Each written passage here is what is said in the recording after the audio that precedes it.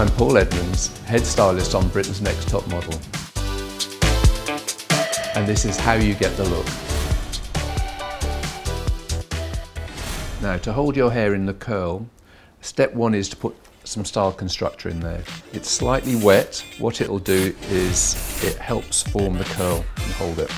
I'm going to section your hair off and I'm going to do some odd tonging so it doesn't become one solid wave. I'm putting the tong in at the root and wrapping the hair around the tong and then curling it.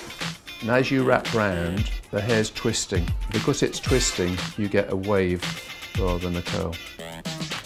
Doing your hair like this, it's much better or much easier doing it the day after you've washed it. Because it's better when it's a little bit dirtier. Oh, okay. Okay, final stage. Mm-hmm. We're going to dress it out this is the easy bit for you. Okay, tip your head forward.